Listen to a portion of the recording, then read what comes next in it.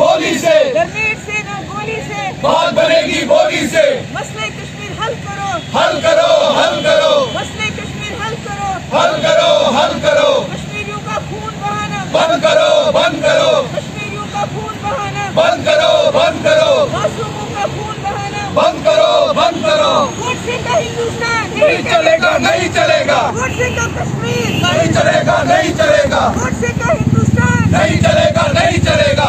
का कश्मीर। नहीं चलेगा नहीं चलेगा। का हिंदुस्तान। नहीं चलेगा नहीं चलेगा।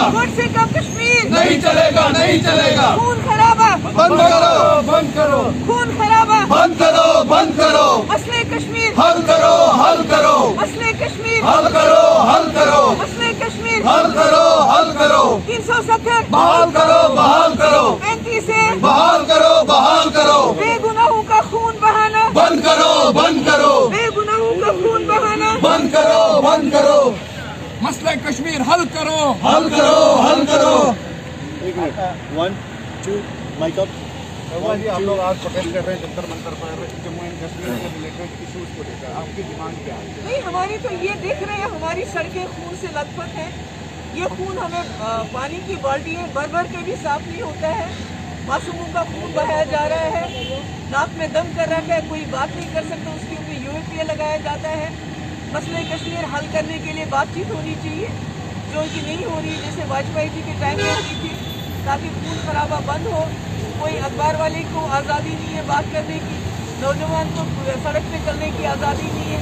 सड़क पे चलता है तो गोली मार दी जाती है। घर के अंदर होता है तो उसको जाके छापे डाल के यूएपीए के अंदर बंद किया जाता है। तो जम्मू कश्मीर को एक खुली जेल बना दिया है। और हमारा जो कश्मीर है, इस वक्त एक कब्रिस्तान बन चुका है, जहाँ हर घर कबर बन चुका है। घर से बाहर आते ही इंसानों को खतरा हो जाता है। या तो वो गोली का शिकार हो जाते हैं, या उनको यूएपीए लगाया जाता है और जेल में डाल दिया जाता है। इस वक्त सैकड़ों नौजवान हमारे इतने जेल भर गए जम्मू कश्मीर के, क्या वो आगरा, राजस्थान और दूसरे जेलों में उनको लेके जा रहे हैं। उसके खिलाफ हम अपने देश के लोगों को ये बताने आए हैं कि जो जम्मू कश्मीर मुस्लिम प्रदेश होने के बावजूद हिंदुस्तान के साथ मिला, हाथ मिलाया। यहाँ की जो सभ्यता है, यहाँ का जो सिक्युलरिज्म है, देखिए, आज पूरे जम्मू कश्मीर खून के आँसू बहा रहा है। आज पूरी जम्मू कश्मीर रो रहा है, खून से लथपथ है। तो मैं उम्मीद करती हूँ अपने मुल्क के लोगों से कि वो सामने आके इस जुल्म और सितम के खिलाफ आवाज़ उठाएँ। आपने अभी नारा भी लगाया तीन सौ सत्तर को वापस लो। आपको लगता है कि प्रधानमंत्री मोदी ने कृषि कानून वापस लिए हैं तो तीन सौ सत्तर देखिए कुछ भी हो सकता है। अगर गंगा में गंगा पानी के साथ हमारे लोगों की लाशें बह सकती हैं इस मुल्क के अंदर तो कुछ भी हो सकता है। अगर कृषि कानून एक साल के बाद वापस लिए गए हमारे साढ़े सात सौ जो हमारे किसान थे उन्होंने शहादत दी तो जम्मू के कश्मीर के लोगों ने तो लाखों की तादाद में शहादत दी ही बल्कि इससे ज़्यादा हासिल होगा जम्मू कश्मीर के लोगों को क्योंकि हमारी कुर्बानियाँ कभी रायगा नहीं हो। हमारे मुल्क में कुर्बानी दी है वो कभी रायगा नहीं हुई। हम जम्मू कश्मीर के लोगों की कुर्बानियाँ भी कभी ज़ाया नहीं हो। क्या आपको नहीं लगता कि सत्तर के बाद में कश्मीर में कोई बदलाव बदलाव तो देख रहे हैं ना अभी देखिए ना बदलाव।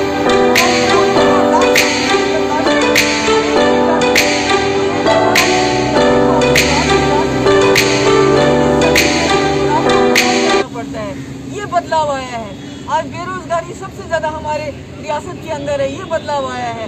लोग घरों में कैद हो गए हैं ये बदलाव आया है। कोई बात नहीं कर सकता है ये बदलाव आया है। घरों के अंदर एनकाउंटर में लोगों को शील की तरह इस्तेमाल किया जाता है ये बदलाव आया है। यही बदलाव आया है जम्मू कश्मीर में। जम्मू कश्मीर गांधी का कश्मीर नहीं गोडसे का कश्मीर बन रहा है दिन भर। आपने एक कमेंट भी किया अभी नारे में कि गोडसे का हिंदुस्तान और कश्मीर बनने नहीं इसका मतलब क्या है? मतलब कि जो इस वक्त हमारे मुल्क के अंदर होता है बात करना जो है एंटी नेशनल समझा जाता है। चाहे वो सुधा बर्दवाज हो चाहे वो फादर स्टैन हो उनको जेल में सड़ा दिया जाता है। कोई बात करता है माइनॉरिटीज के खिलाफ अगर आप एक रेडी वाले को देखते हैं जो सब्ज़ी बेचता है या डॉक्टर कफील को देखें या कॉमेडियन को देखें या शाहरुख खान के बेटे को देखें इसी तरह हमारे जो किसान हैं उनको खालिस्तानी कहा गया। मुसलमानों को पाकिस्तानी किया जा, कहा जाता है। जो कॉन्स्टिट्यूशन की बात करते हैं हमारे स्टूडेंट्स उनको टुकड़े टुकड़े गैंग कहा जाता है। तो इस मुल्क में कोई भी सेफ़ नहीं है, इस वक्त कोई बात नहीं कर सकता है। उसको एकदम से एंटी नेशनल का टैग लगता है। ये गांधी का मुल्क लगता नहीं है। ये लगता है कि की जो आइडियोलॉजी है उसी के मुताबिक मुल्क भी चल रहा है और उसी के मुताबिक जम्मू कश्मीर को भी बनाना चाहते हैं आप आपने एक बात एक जगह मैं पढ़ भी रहा था आपने इस बात का ज़िक्र भी किया है कि कश्मीर में कोई बदलाव नहीं हुए तीन सौ सत्तर के बाद जब का दस कश्मीर है। आप चाहते हैं बर्बादी हो गई है उल्टा हो रहा है। हमारे लोग परेशान हैं जम्मू में हमारे कुटुआ में लोगों की जमीनें छीनी जा रही है कश्मीर में लोगों की जमीनें छीनी जा रही है। या तो कॉर्पोरेट हाउसेस को देने या सिक्योरिटी फोर्सेस को परमानेंट उनकी अकोमोडेशन बनाने के लिए।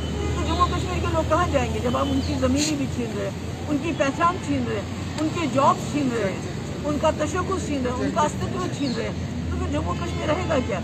अगर ज़मीन चाहिए तो एक ही बार ले लो। चुनाव कब तक होने के आसार हैं? चुनाव के साथ मेरी कोई दिलचस्पी नहीं है। चुनाव जब होते हैं चुनाव पहले भी होते रहे आगे भी होंगे। चुनाव मेरा मुद्दा नहीं है। मेरा मुद्दा है जम्मू कश्मीर का मसला हल होना चाहिए। जैसे वाजपेयी जी ने बातचीत की थी वैसे ही बातचीत होनी चाहिए और आर पार रास्ते खुलने चाहिए ताकि लोग एक दूसरे के पास आ सके जा सके। और जो इस वक्त जम्मू कश्मीर में खून खराबा हो रहा है वो खून खराबा बंद होना चाहिए। कश्मीर के लोगों को अपनी लाशें मांगने के लिए भीख नहीं मांगनी पड़े आर पार का पाकिस्तान से हमारे रास्ता। गोली से। बात बनेगी बोली से। ग्रेनेड से ना गोली से। बात बनेगी बोली से। ने शुरुआत की थी। पाकिस्तान और हिंदुस्तान के बीच में रास्ता खोलने की वो वो शुरुआत आगे चलनी चाहिए उसको कहीं रोकना नहीं चाहिए। एक आखिरी सवाल है नागालैंड में जिस तरीके से फायरिंग हुई है कैसे देखते हैं देखिए वहाँ एफ़ आई आर दर्ज होगी हालाँकि मुझे मालूम है इसके बाद भी कुछ होने वाला नहीं है। मगर कम से कम होम मिनिस्ट्री ने नोटिस लिया फटाफट एफ़ आई आर दर्ज की। मगर जम्मू कश्मीर में हम लोगों को जब हमारे ऊपर गोलियाँ चलती हैं लाश वापस लेने के लिए हमें प्रोटेस्ट करना पड़ता है भीख मांगनी पड़ती है। आप सुबह हटना चाहिए पूरे नॉर्थ ईस्ट से। नॉर्थ ईस्ट से जम्मू कश्मीर से हर जगह से असबा हटना चाहिए ताकि एक जवाब दी हो सिक्योरिटी फोर्सेज को ताकि वो कल जैसे नागालैंड में और उससे पहले हदरपुरा में गोली चली इस तरह अंधाधुन गोलियाँ न चले। शुक्रिया